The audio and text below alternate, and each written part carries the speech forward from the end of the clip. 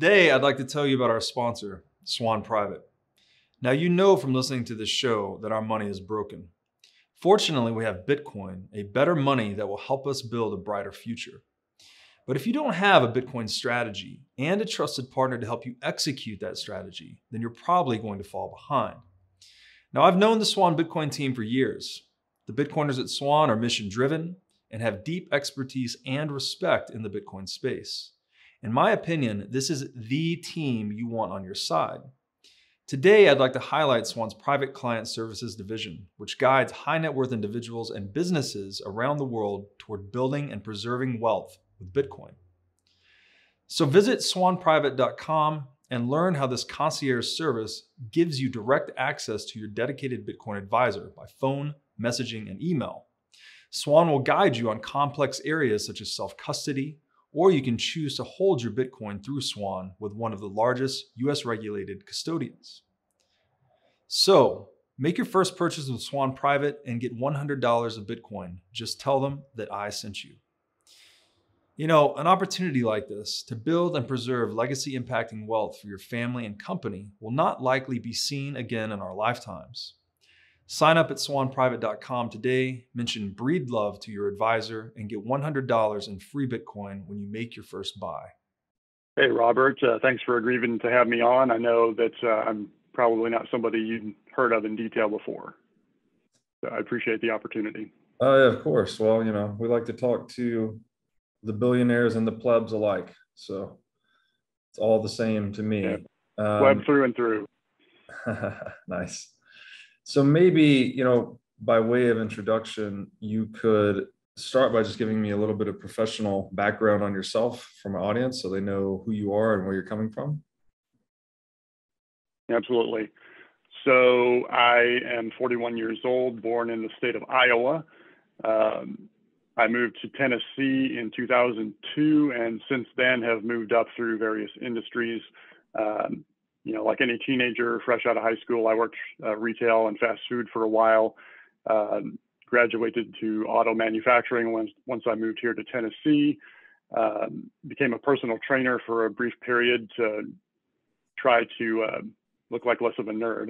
Um, then uh, got a job at uh, Dell Technologies uh, here in Nashville. So for the last seven years, I've been uh, in various roles there. Uh, and today, as we record this, I'm a pre-sale solution architect for enterprise class businesses. Very cool. So I have a sorry, go ahead. Good amount of experience in the technology industry. Got it. So did that was that part of your journey into Bitcoin? Was just the technical path, or you know, maybe you could just give us the the backstory on how you first heard about Bitcoin and how you ultimately got into it. Yep. So I've been a techie all my life. Um, you know, my dad bought one of the first IBM computers uh, to be released, and I spent my time taking that thing apart. Um, and then, you know, from then on, it was uh, me and my own computers, and eventually building my own computers once that market uh, opened up uh, and competitors emerged into it.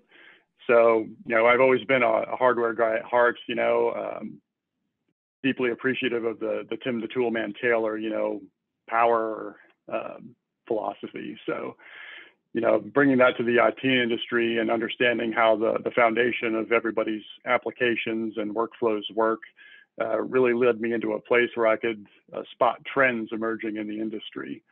Um, so one of the things I correctly anticipated was like Apple's move to their own uh, internally produced silicon based on RISC technology, um, and I see another such trend coming with Bitcoin, and I want to help as many people get on top of it as I can. You mentioned Tim the Toolman Taylor, who was the main character in that sitcom. I forget the name of the sitcom. Uh, it was Home Improvement. Home uh, Improvement. Big in right. the Midwest in the rural '90s. Yeah, yeah. That I remember watching. And that then the, there was a sensible sidekick, Al Borland. Great show.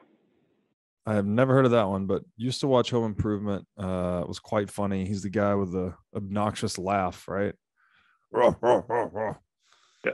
Um, I I'm not sure about his power philosophy though that you just mentioned. Is that something you could you wouldn't mind unpacking for us? It's uh, you know whenever he's working in the shop on some project, he would always bring out the uh, the super souped up version of the mm. project, mm. whatever it was. You know whether it was a you know a souped up lawnmower that could you know cut through a tree or something like that. He always had a an over the top you know what happens if we make this thing as powerful as possible and you know it would always be the you know, more power. Oh, oh.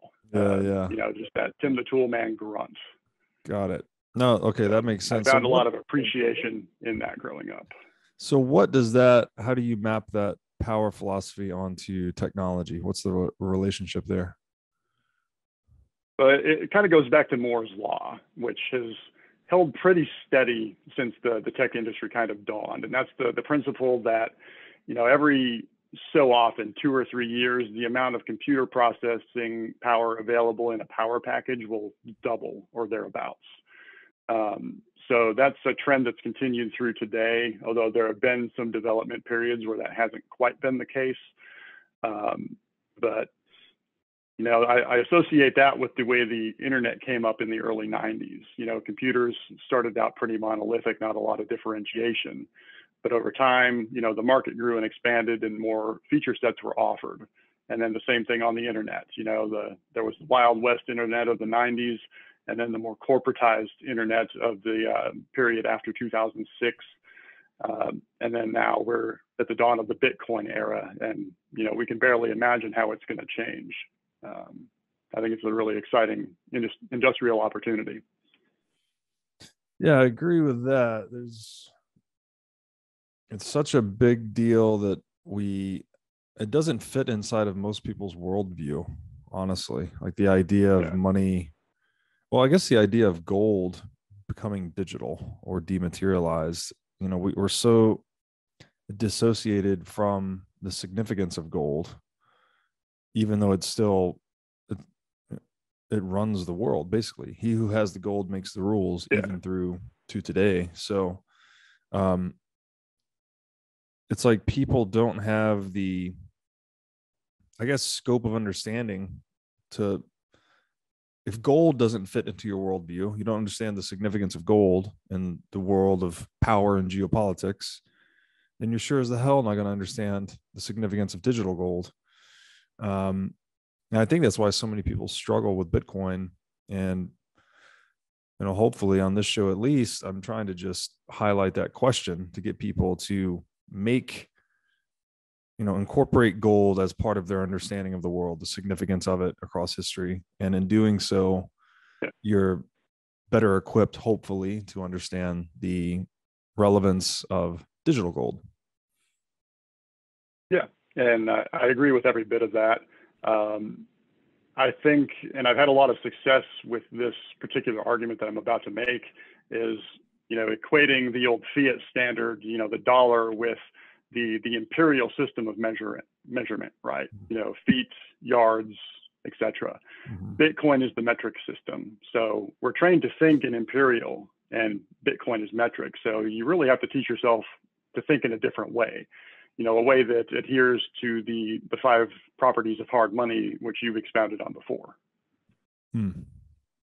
Yeah, it's I've heard that analogy before, like the metric system of money, and it makes a lot of sense. Um, although I did get schooled the other day by a Brit, Dominic Frisby, and he was saying that the imperial system of measurement is actually better because it emerged bottom up, where like a you know a foot is the average size of someone's foot with a boot on, and an inch is like a thumb's width, and there's all these uh, kind of common everyday uses that culminated into this imperial measurement system.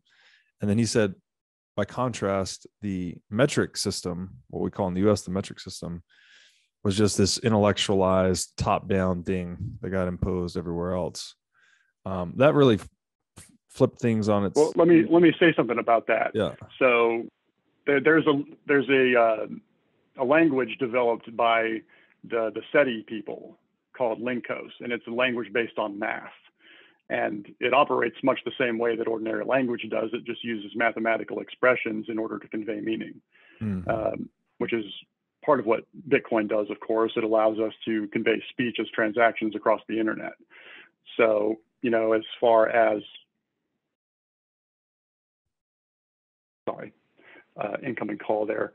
Sorry. Um, but as far as, you know, imperial versus metric, I, I see imperial as more of a, a personal system of measurement. You know, you're measuring how many feet you can walk, how, how many inches can you jump, you know, how many, uh, how many balls can you juggle?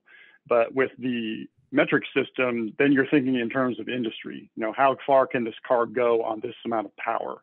Mm. Uh, you know, how many satoshis does it take for me to purchase this thing that I want? Uh, it's all about the increments that we can use uh, to group value together to uh, acquire the things that we desire. Hmm. Yeah, it's interesting. I uh, it was a big inversion for me because I had always grown up thinking that the United States just resisted the movement to a more efficient system of measurement. um, but apparently, yeah. Um, are you familiar with um, familiar with the physicist Eric Weinstein? Of course. Yeah, Eric's been on he, the show. He proposed the he, he proposed the new theory, uh, I believe, where he described uh, dimensions five through eleven as a series of rulers and protractors that we use to evaluate our stance in the universe something like that. I'm not super into the physics of it, but you know, I took that to mean that humans operate in three dimensions. You know, whether it's our proprioceptive capabilities or it's our uh, uh, mental calculation capabilities. You know, we have we have the ability to think abstractly about certain things. So, the more we know about any given subject and multiple related subjects, the more we can form a cohesive uh, neural network that draws together all of our points of interest. And if that sounds a lot like how AI works, that's well, one is because that's the way AI is modeled, you know, on the human brain. Mm-hmm. But um, we haven't got quite to the point where AI is ready to take over any of that with any type of reliability. Right. Yeah. Um, that's interesting. So what you said you mentioned before the show you got into Bitcoin, but it was the work of Saifedean Ammous and others that influenced your thinking about Austrian economics. Could you maybe just explain to me a bit how that intellectual journey has been for you? Is that pre-Bitcoin or post-Bitcoin that you that you got into Austrian econ? Uh, it was actually pre-Bitcoin. So I first was exposed to the ideas of Austrian economics through the Ron Paul campaign of 2007, 2008. Mm-hmm. Uh, and that was right before the financial collapse of the same period. So, you know, the, the, the Good Doctors campaign followed by that immediate crash of the financial and housing markets, you know, that really drove it home for me that, you know, this is a logically derived truth and these principles are sound in theory and in practice. And then, you know, in 2012, I heard of Bitcoin and I said, well, I, am always been skeptical of new technology, so I tend to wait and see before I get involved into anything too deeply. So I missed the uh, the early, early, early train. But you know, in 2016, I kind of looked back at it and saw that it was uh, gaining in steam and popularity and influence. And about 2018, 2019, I realized that it was going to be a thing and since then, I've been doing whatever I can to improve myself so that I can, you know, help fight this battle that needs to be fought against uh, the central banks and you know those that support them. Very interesting. Was there a particular epiphany or light bulb moment you had with Bitcoin and or Austrian economics?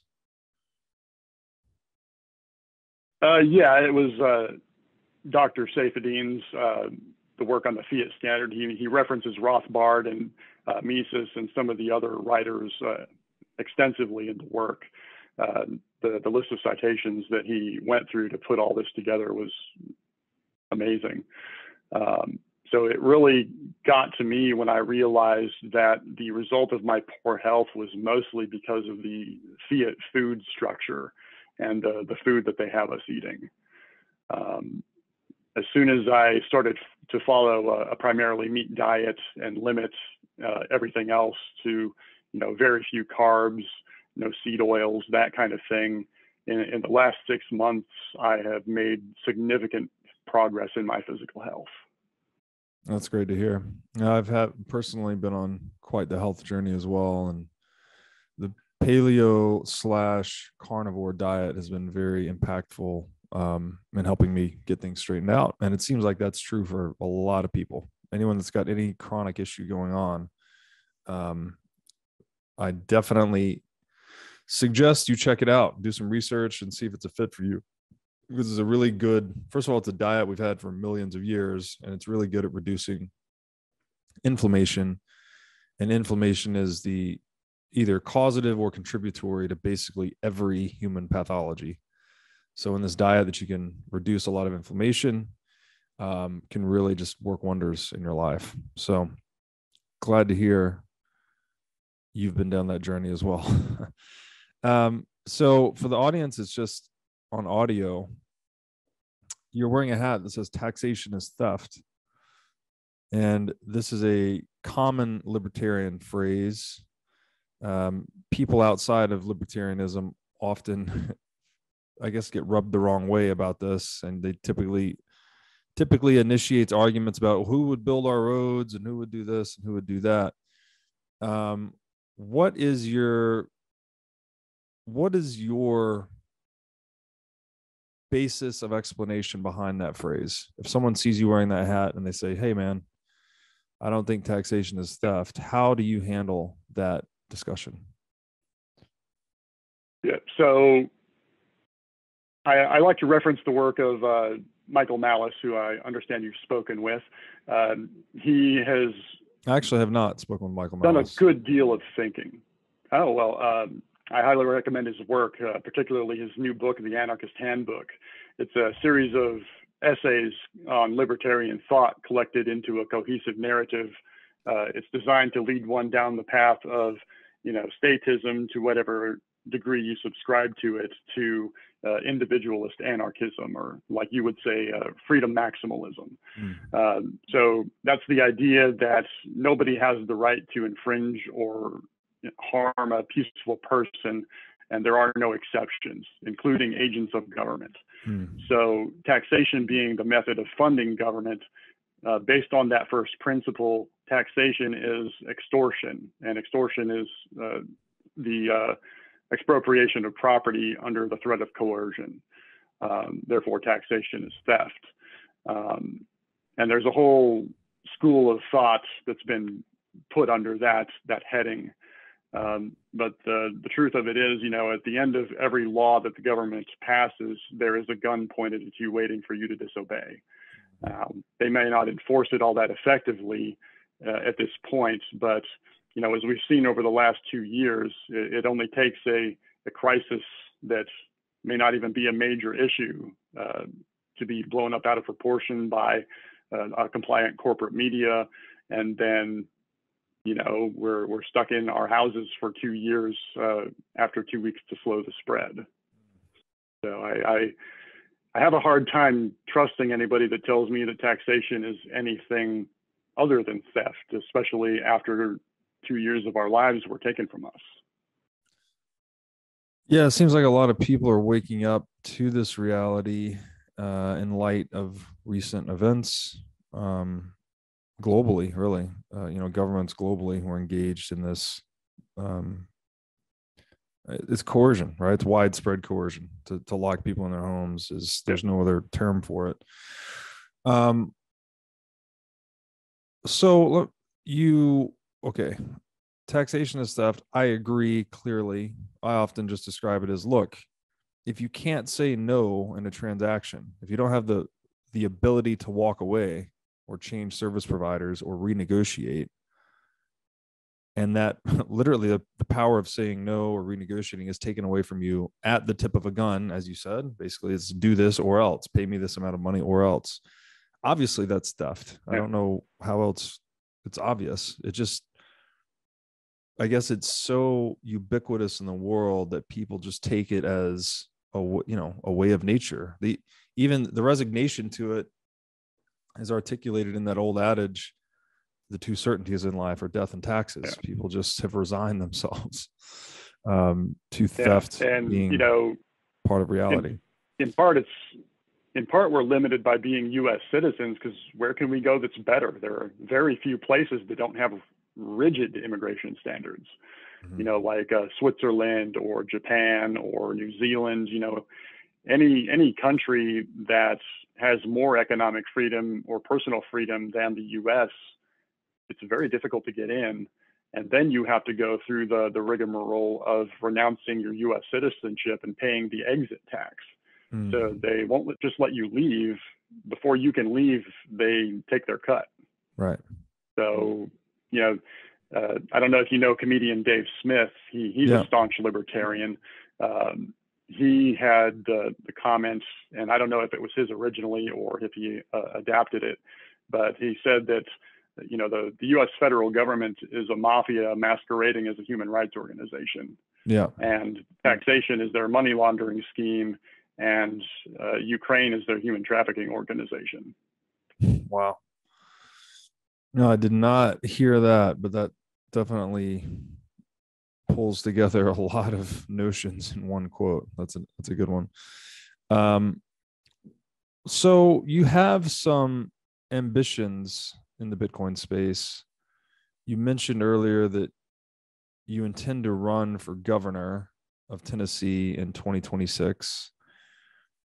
Do you feel mm-hmm. dissonance at all about trying to run for a political office or a state office and at the same time believing that taxation is theft? I mean, how do you square those two things?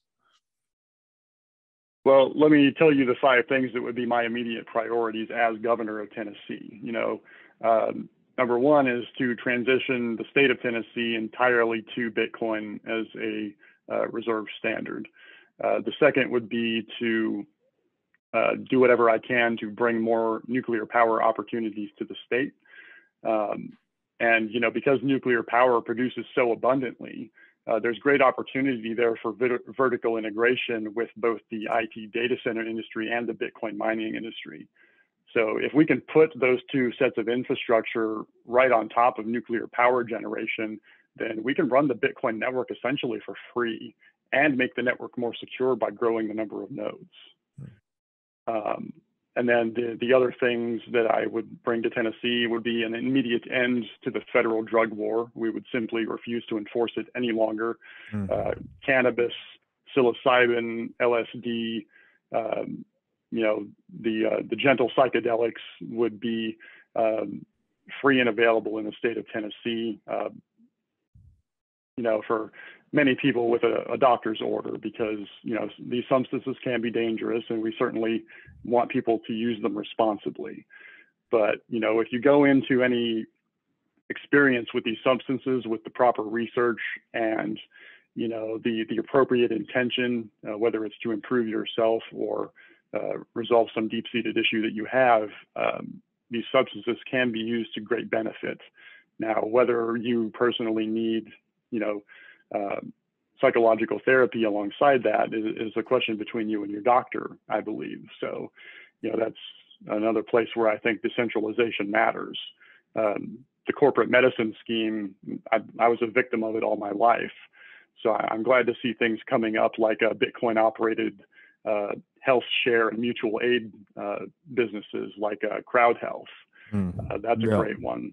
Um, and then, you know, of course, there are alternatives to taxation. You know, we, have come a long way from the idea that government is a necessary evil. Um, I think that our technology and our our uh, understanding of how human development works means that we've come far enough that we can say that government isn't a necessary evil any longer. Uh, there is no function that is performed by government other than physical security that cannot be accomplished by software. Right. Yeah, well said. We, yeah, I've got a lot of thoughts around this, and I hope to compile them into a book. But I just sort of to say it simply, it seems to me like the government or statism perhaps was. I'm gonna I'm gonna say necessary evil, but I don't know that it was entirely necessary per se, or it was just people being opportunistic. Like if you can get in a position of power and have other people do your bidding, that option's available. There are people that will take that option. So I don't know that it was necessary per se, but in that we lacked the technology to do these other functions, it created an opportunity for people to position themselves into the ruler class over the ruled. And that's essentially what we've inherited, I think, with the state model. Um, but, yeah. you know, technology changes that, of course. Now, I'd like to tell you about a great new Bitcoin show on the scene that you've got to check out.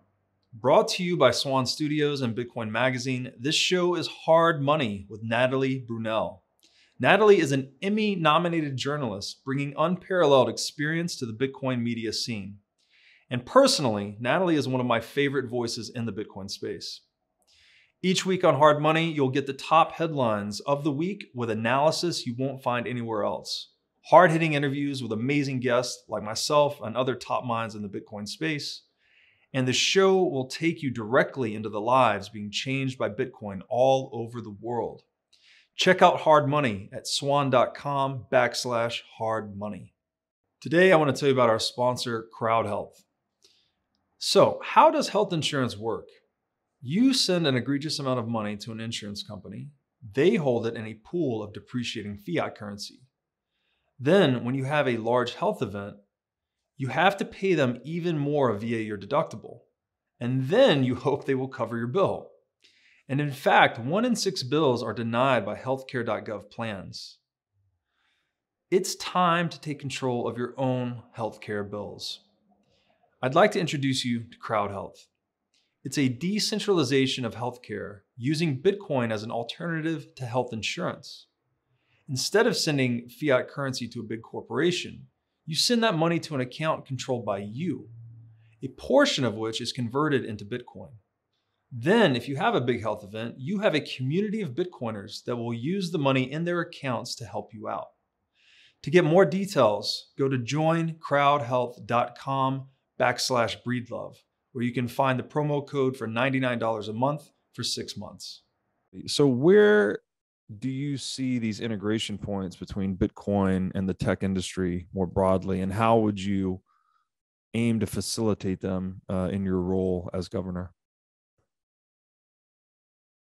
So, a little bit of IT background. You know, there there was the traditional internet, which was the seven layers of operation that were between the user and the application. Um, so the corporate internet simplified all of that into two or three networking layers, uh, whether it's the user, the business, and the outcome. Um, so I see Bitcoin going along kind of the same evolutionary path. You know, we, we started with the, the single-celled organism and, you know, Lightning and other networks that are built around Bitcoin provide the, the evolutionary leap that we need to scale Bitcoin far beyond its singular, uh, singular capability. Um, and then, of course, you can build other layer three, layer four, layer five tertiary services that all interconnect and operate in the background. Um, I think this plays into AI in that there will be some algorithmic control behind it, but I'm a staunch advocate of putting any type of AI or machine learning or algorithmic tool directly into the hands of the user and let their let them tweak their own outcome. Hmm. Um, I, I have been through all of the uh, the trainings at my job, and I I find that I don't agree with much of the corporate cloud or uh, centralized AI development models. I, I, think they're doomed to failure uh, just by nature of centralization. Hmm. what What are your thoughts on that? Or um, well, I you know I want to talk more about AI with people that know more than I do because I don't know enough. But just on instinct, it seems to me that if we get to general purpose AI, that if the schematics of that AI are open source and available to all, then that could be a real boon for humanity. Could radically improve our productivity. I mean, the rough use case I imagine is everyone just having their own personal assistant, right? This general AI that knows you better than anyone else and it can do a lot of things for you all the time, make your life a lot easier. That seems to make a lot of sense. But on the flip side, So you, are I think you're where I am when it comes to AI. You want something like Tony Stark's Jarvis, you know, the, the digital yeah. personal assistant that, you know, is is your shield against, you know, the the undesirable aspects of what's out there. Yeah, and um, hopefully I, I like have a lot of that same. Yeah, not Ultron. We don't want Ultron. Right. Um, but I, I, think the way that we get to Ultron is actually through state or corporate control. Um, have you ever seen on YouTube? There's a channel called Dust, and they have uh, great sci-fi short videos. Uh, there's a video that they've made called Slaughterbots, and it's basically about you know the introduction of weaponized drones and how they will eventually run out of control through hacking or pirating of the hardware mm. and result in uh, urban wars between uh, groups of collectivists, essentially. It, it's a dystopian film and it runs about 10 minutes and it tells uh, what I think is a very chilling story about what happens when uh, technology is used to harm people rather than make their lives better. Hmm. I haven't seen that. Um, but just to finish what I was saying, if, if alternatively general purpose artificial intelligence is a it emerges as a closed source tech stack that i think is really scary because whoever is in control of that architecture would just have the ultimate weapon in the world right if you alone or your exactly. conglomerate or country or whatever it is if you, any individual centralized organization that controls artificial general purpose intelligence would have a huge asymmetric advantage over everyone else. Um, that's scary. So it's, you know, again, I'm back to this outlook on the digital age where it seems like the spectrum of possibilities for the human species is just wide open. We could totally veer towards this dystopian, you know, closed sourced AI situation, or we could veer towards this more utopian. I hate to use that word because utopian aspirations always end in their opposite, but let's say a less dystopian future uh, built on honest money and hopefully open source tech stacks across the board, including for AI. Um, but like I said, I need and, to talk to uh, people smarter than me about that to clarify my thinking. Yeah.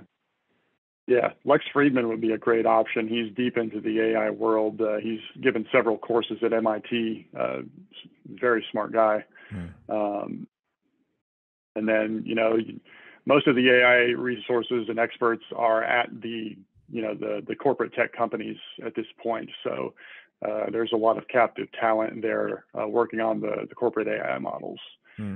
Um, so yeah, I, I think we could easily end up in you know, a situation where we've got, you know, global digital surveillance.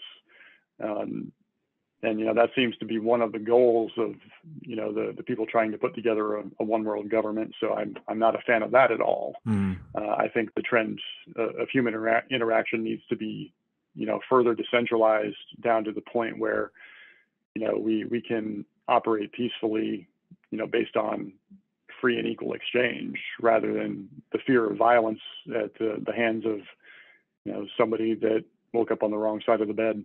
Yeah. Yeah, well said. Um, so we're recording this in early June 2022. And before we started, you mentioned there was a takeover of the Libertarian Party recently. Um, would you like, I don't know anything about this, so please tell me, please enlighten me. Yeah. So back in 2006, um, the party was essentially taken over by what they call the Portland Massacre, uh, wherein the, the platform of the party was changed to the kind of the forerunner of the woke ideology. You know, they, they included the phrase, uh, we condemn bigotry as irrational and repugnant. Um, and from that, stemmed the, the growth of the, the woke ESG types within the Libertarian Party uh, that eventually uh, culminated in their control of the National Party. Um, so several former chairs had been essentially caught with their pants down uh, rigging uh, state party primaries and conventions uh, to try to maintain power. Um, and that's from this new caucus that was started in 2017, uh, the Libertarian Party Mises Caucus.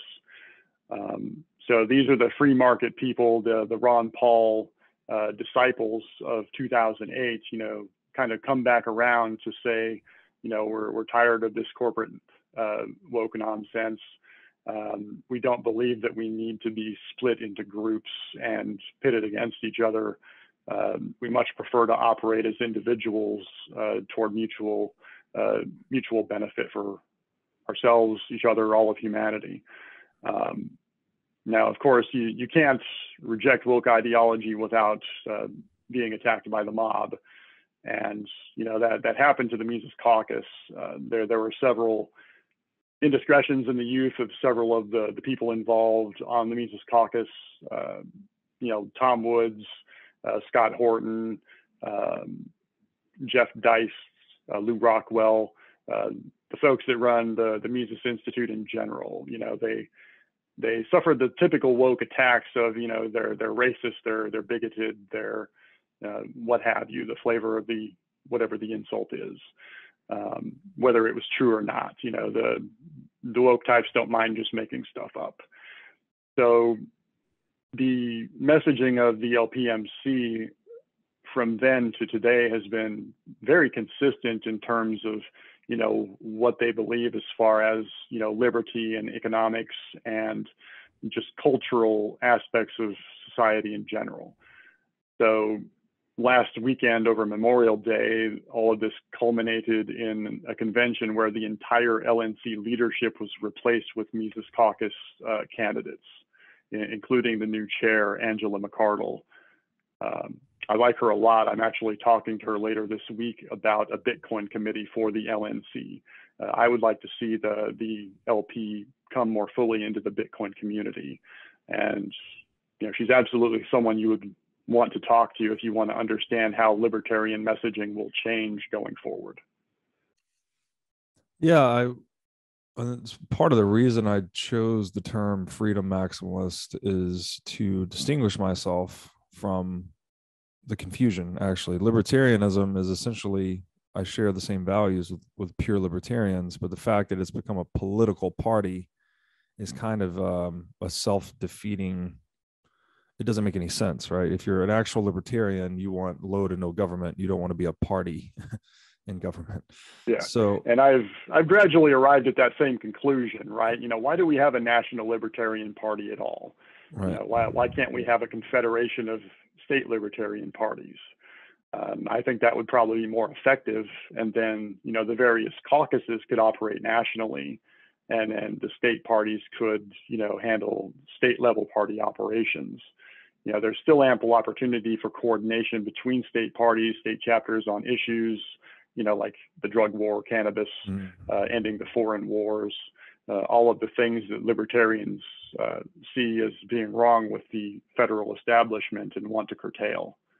Um, so, you know, going back to what you said at the beginning about, you know, why would a libertarian want to run for governor of a state?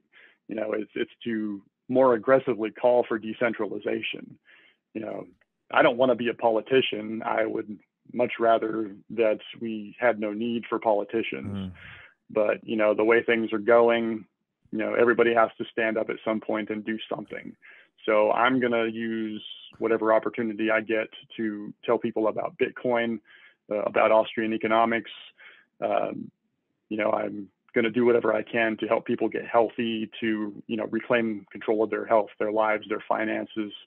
Um, you know when it comes down to it I, i'd love to form a bitcoin startup you know to you know, make the, the next generation of Bitcoin innovations because there, there's still much more to come in the Bitcoin world. You know, the final Bitcoin won't be mined until year 2140. Uh, chances are both you and I will be deceased at that point. So, you know, we're, we're really trying to build something for our children, our grandchildren, and our descendants. Mm. So, you know, that's that's why I'm here, and that's what I believe in. Yeah, no, thanks for sharing. That's beautifully said. Um, and I agree. You know, we've got to fight the fight at every level, and that includes the traditional forums that we have, right? Which, for I would say for better or worse, but I'd say it's largely for the worse. This giant political apparatus that runs the world, right? We've got to infiltrate and, and fight it there too. Yeah. And you know, while we're at it, there's no reason that we can't modify and modernize these platforms. Mm-hmm. You know, we, we said earlier that, you know, taxation and central government, central banking, they're they're largely obsolete. I, I, think that you know we should push to do whatever we can in software, open source, open platforms. I, am all for you know the the public availability of knowledge and information that'll better humanity. So, mm. Um, you know, I, I, I actually am a big opponent of the IP and copyright system in general. Um, mm. I think that it's been twisted far too much. Um, to the benefit of the uh, the institutions and the others that hold that centralizing power. So you said IP, right? after we property? tackle money, yeah. After we tackle finance, we should definitely be looking at IP as the next thing to fix. Yeah, it's a giant scam. Um, which again, Austrian economics turns it over at first principles. You can't own an idea exclusively, right? An idea when you share an idea, you haven't given up possession of it. It's a non scarce thing, right? You have the idea and then you've shared it with someone else. Now they have the idea. So, yeah, the idea yep. of owning ideas is a bad idea, I guess we might say. Um, yeah, exactly. Yeah, there's a lot to be done, but um, it's great that we have Bitcoin, man, because without Bitcoin, I just don't think there would be a good check against all these systems of oppression. Um, and that means we would probably be driving off a cliff for sure as a civilization without Bitcoin. But at least with Bitcoin, there's the hope of getting this thing under control. Yeah. And, you know, that's a, good reason to keep an eye on the Bitcoin bill that Senator Lummis just announced today. Hmm. Um, anybody with an interest in Bitcoin and keeping Bitcoin free uh, should definitely be involved with their, you know, their political representative, their legislatures at every level.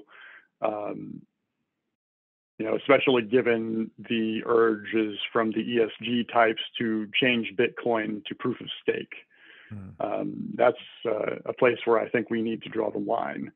Um, changing Bitcoin to proof of stake would essentially destroy the security of the network and, you know, allow the failing institutions to jump ship to uh, essentially a, a, new digital version of what they have now, uh, whether it's through CBDCs or proof of stake.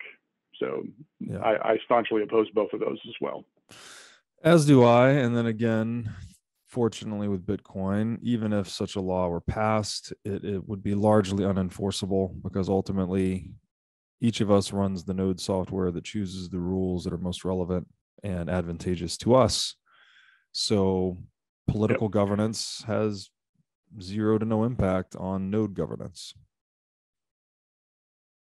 I I wouldn't leave it just like that. Uh, I think that you know, given what we said at the beginning, where you know, government at the end of every government law is the barrel of a gun. You know, if if the edict starts and Bitcoin is banned and they're tracking people through power usage, you know, through cell phone records, through location data, all the things we know they do because of the NSA leaks by Snowden, uh, you know, they could potentially perform no-knock raids on any Bitcoin miner. Uh, they could order the shutdown of institutional miners. So, hmm. you know, the, the threat of government overreach is real. And I know that there will always be a black market for Bitcoin mining, and I'm grateful that that's the case.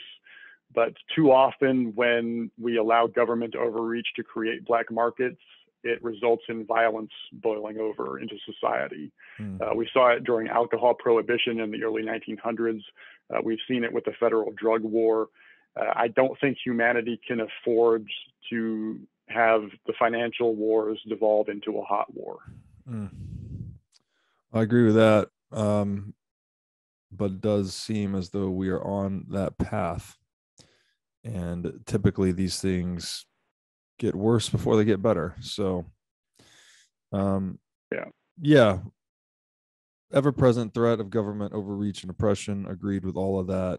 Um, I guess my again, my point would just be that the governance model of Bitcoin is designed to deal with those eventualities. So even with these no knock raids and shutdowns of Bitcoin miners, still really hard to tell individual nodes which version of Bitcoin to run. Right. So ultimately, the social layer will always select the money that works best for them. And clearly, that's never going yeah. to be point of, or sorry, proof of stake anything. Proof of work is what gives Bitcoin supply cap integrity and credibility. So, um, I'm not saying I'm not trying to discount the threat. I agree with all that. I'm just saying that at least we have countermeasures in place with Bitcoin. Yeah, I mean, I, I give all credit to Satoshi. You know, whoever they may be.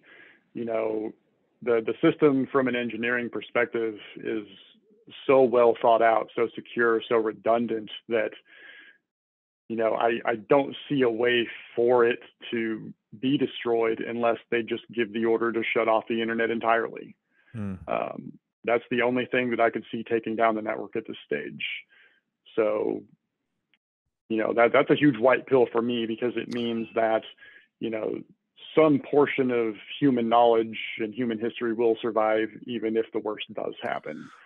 So, what were you saying would be the one thing you think it could take out the entire network? I'm sorry, I missed that uh, if the government gave the order to turn off the internet, uh, you know, the, the government does have a kill switch for the internet. Mm. The, the CIA leaks uh, from WikiLeaks delved into that quite deeply, uh, all the tools that they have at their disposal.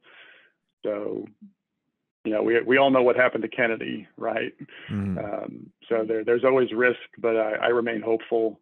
And I believe that you know fighting for decentralization in you know the, the physical world is just as important as keeping bit, Bitcoin decentralized in the digital sphere. Yeah. So I, I think we can at least agree on that. For sure. So there's a kill switch for the internet. I assume this is just for North America. You're saying? Well, I mean, you you could uh, separate the internet into regions by cutting the ocean cables, uh, yeah. the cables that connect the internet between yeah. the oceans uh, then you essentially isolate the continents. And then you know the, the corporations and the governments uh, being in bed as they are uh, I, I, imagine the corporations and the uh, security uh, enforcers would be very compliant with a government order to curtail internet usage. Right. Um, you know it sounds crazy up front but in 2019 nobody imagined they'd be locked in their homes for a year so yeah, at this point, I'm not willing to discount the possibility.